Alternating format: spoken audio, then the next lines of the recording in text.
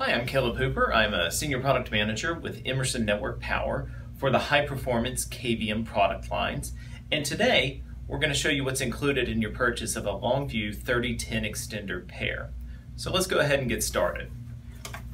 So as soon as you open the box, the first thing you're going to notice is a tray holding the extender pair. So we'll go ahead and pull that out.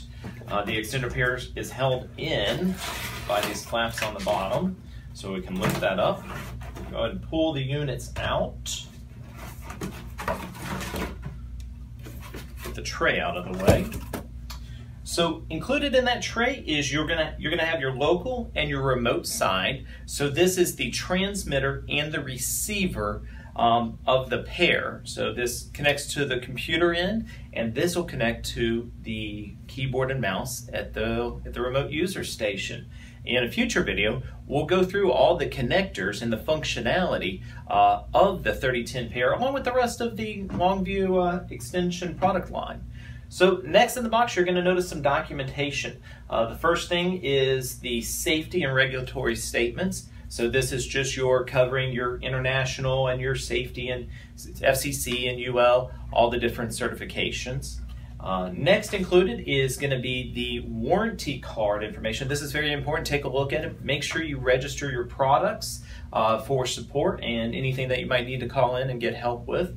Um, the next item is the quick installation guide for the rack mount kit. So if you were to be buying multiple pairs of the Longview series, uh, you're able to actually buy a rack mount kit uh, to where they can slide in in an efficient manner uh, as you back rack your PCs. So that'll go through what you need to do and the parts that you need to purchase for rack mounting the Longview family.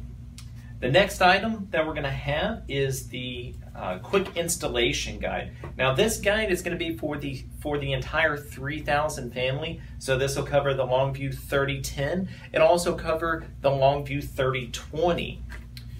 And then the next item is uh, rubber feet. So if you're not going to be rack mounting the transmitters and the receivers, uh, we include rubber feet. So this is, uh, you can put these on the transmitter and the receiver so it doesn't slide off the desk. Uh, so you can just apply those, either use them or don't. Um, but they are included in the box.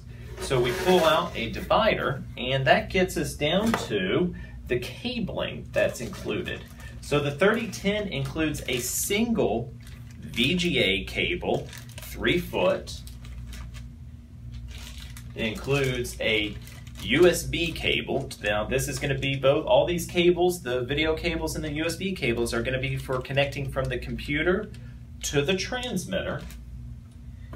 The next will be your uh, localized cable. So this is a US power cord. If you're buying this in a, uh, another country or another part of the world, uh, it'll include a power cord that is correct uh, for where you are locally. And then we also have included a uh, eighth inch audio cable.